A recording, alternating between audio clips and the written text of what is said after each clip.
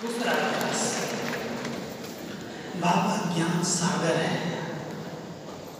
आपने देखा होगा, सागर अगर किनारे रहते हैं तो अनुभव किया होगा, ऊपर बहुत लहरें होती हैं। और लहरों के बीच में अगर कोई जाता है, अगर उसको स्नान करना, लहराना, तैरना नहीं आता तो लहरें उसको बहा ले जाती नुकसान पहुँचा देती लेकिन सागर की डुबकी लगाने वाले तैराक जो होते हैं, जो नीचे जाना जानते हैं तो वहाँ बड़ी शीतलता का, बड़ी शांति का अनुभव करते हैं। रतन लेके आ जाते हैं। हम सब योग अभ्यास के अंदर ये प्रैक्टिस करें। कुछ समय हम ज्ञान सागर की लहरों में लहराएँ। चिंतन करो, मनन करो।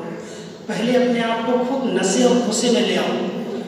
योग सूखा नहीं है। कई लोग ऐसे बैठे ना, ऐसे गर्दन डाल के नीचे। पता नहीं कौन सा बोझ आ गया योग में। सूखा चेहरा, खुशी नहीं रौनक नहीं, शांति है, अंतर्मुखी है तो ऐसा लगता है पता नहीं कोई मार के बिठा दिया योग है क्या? जिसमें चेहरा ही बदल जाए, सूखा हो जाए। अरे रमणीयता से भाव से, प्यार से बातें कर रहे हैं। स्नेही से मिलन मना रहे हैं। खूब मज़े से बैठो, मस्त होके बैठो। और फिर बाबा की वो करने लेते लेते सागर के तले में चले जाओ। और वो सागर का तला बिल्कुल शांति का सागर है, प्यार का सागर है, पवित्रता का सागर है। और मैं आत्मा उसके अंदर समाई हुई हूँ। कोई बाह्य वातावरण का प्रभाव नहीं है लेकिन डुबकी लगाने वाले ध्यान रखते हैं कहीं नाक कान में पानी ना चला जाए डेंजर होता है, इसलिए बंद रखते हैं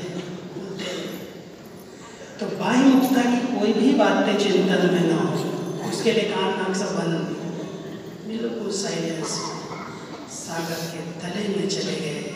और एकदम शांति का, पवित्रता का, गहरा अनुभव, वो संस्कार को परिवर्तन करता है, वो संस्कार को चलाता है।